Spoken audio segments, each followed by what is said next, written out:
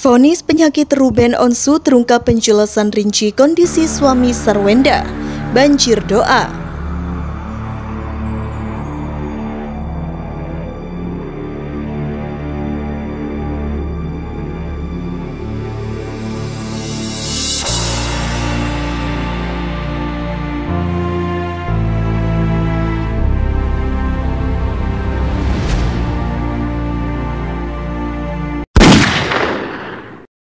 Dapur berita artis terkini. Hai guys, semoga kabar Anda baik-baik saja. Selamat datang kembali di channel Duster Infotainment. Terima kasih karena sudah memberikan support dan juga kesetiaan Anda untuk membangun channel ini. Ruben Onsu masih berjuang untuk mendapatkan hidup yang sehat. Suami Sarwenda masih begitu lemah. Beberapa waktu terakhir kondisi kesehatan Ruben Onsu jadi sorotan. Tubuh Ruben Onsu tak terlihat bugar. Penampilannya menyiratkan ada yang tak beres dengan Ruben Onsu. Apalagi selama ini Ruben Onsu kerap dikabarkan drop dan dirawat di rumah sakit. Hanya saja dalam waktu yang lama suami Sarwenda itu seolah menyembunyikan penyakitnya.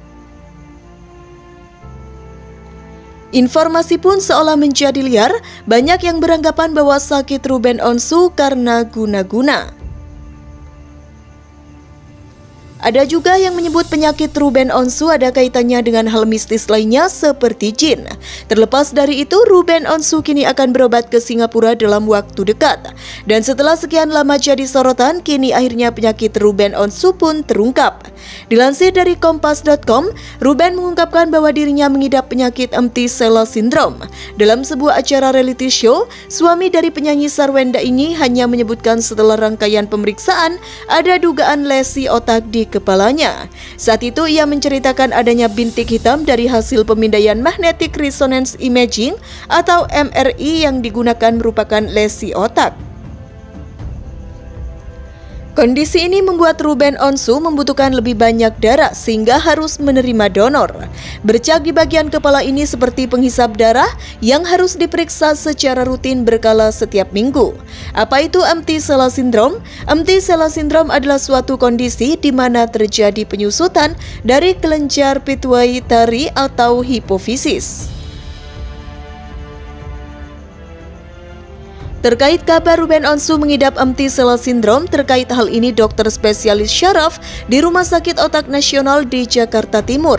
Dr. Viola Maharani SPS menjelaskan bahwa secara normal kelenjar pituitary atau hipofisis ini ada pada bagian depan dari dasar tengkorak. Kelenjar ini berukuran sebesar kacang polong yang terletak di bagian bawah otak. Kelenjar pituitary atau hipofisis ini berfungsi untuk menghasilkan banyak hormon bagi metabolisme tubuh kita. Beberapa jenis hormon yang dihasilkan adalah TSH, thyroid stimulating hormone, V FSH, follicle stimulating hormone, LH, luteinizing hormone, dan kortikotropin, dan juga hormon pertumbuhan. Ketiga hormon pertama diketahui bertugas untuk mengendalikan fungsi kelenjar endokrin lainnya. Selain itu, berfungsi juga untuk merangsang kelenjar tersebut untuk menghasilkan hormon. Saat kelenjar hipofisis ini terganggu termasuk mengalami penyusutan, maka tidak dapat memproduksi satu atau lebih hormon dalam jumlah yang cukup dan menyebabkan terjadinya kelainan. Penyebab penyakit empty cell syndrome seperti yang dialami Ruben Onsu saat ini. Viola menjelaskan berdasarkan penyebabnya penyakit empty Antisela sindrom ini dapat dibagi menjadi dua yaitu primer dan sekunder. Yang primer itu jika tidak ada penyebab lain yang mendasari kata Viola kepada kompas.com. Kondisi kesehatan Ruben Onsu imbas didorong kru TV. Sarwenda minta ayah Betran Peto tinggalin. Insiden Ruben Onsu didorong kru TV sampai tersungkur. Di kolong meja jadi sorotan. Sarwenda pun bereaksi atas apa yang menimpa ayah dari Betran Peto itu. Rupanya setelah insiden itu Ruben Onsu langsung memeriksakan kesehatannya. Bahkan Ruben menjalani fisioterapi untuk memastikan kondisi kesehatannya. Sementara imbas Ruben Onsu didorong kru televisi itu Sarwenda naik pitam, minta suaminya keluar dari acara. Sarwenda turut emosi menyaksikan video Ruben Onsu dirorong hingga jatuh tersungkur oleh seorang kru di sebuah stasiun TV. Kepada Ruben Onsu, Sarwenda yang selama ini dia meminta suaminya itu meninggalkan acara ketawa itu berkah apabila insiden tersebut terulang. Tinggalin, jawab Sarwenda dikutip dari YouTube Intense Investigasi. Kendati demikian, permintaan Sarwenda itu saat ini tak diindahkan oleh Ruben. Padahal Ruben langsung melakukan fisioterapi karena insiden tersebut. Ya kalau dibilang bagaimanapun ya untungnya saya sudah langsung melakukan fisioterapi tandas Ruben Onsu.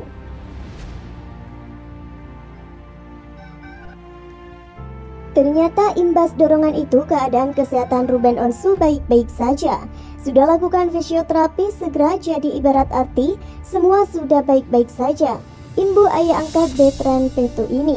Ruben mengaku telah menerima permintaan maaf dari kru TV tersebut. Dalam pengakuannya, kru TV yang belakangan diketahui bernama Arman Setiawan itu langsung meminta maaf padanya berulang kali. Dia sudah langsung meminta maaf berulang kali, cuma tidak disiarkan saja karena saya tidak merasa akan seramai ini. Tukas Ruben dikutip dari YouTube Trans TV Official. Pihak stasiun TV juga meminta maaf langsung kepada Ruben Onsu yang juga disiarkan secara live. Nasib kru TV yang dorong Ruben Onsu Seolah tak mau mengomentari nasib kru TV tersebut lebih jauh, Ruben Onsu memilih tak ambil pusing. Ia pun memilih menyerahkan semuanya pada pihak stasiun televisinya. Itu biar pihak TV-nya tegas Ruben Onsu. Separah itu tanya awak media. Wah nggak enak saya ngomongnya saut suami Sarwenda itu. Menurut Ruben saat ini dirinya sedang fokus pada kondisi kesehatannya. Sehingga ia tak mau memperpanjang masalah.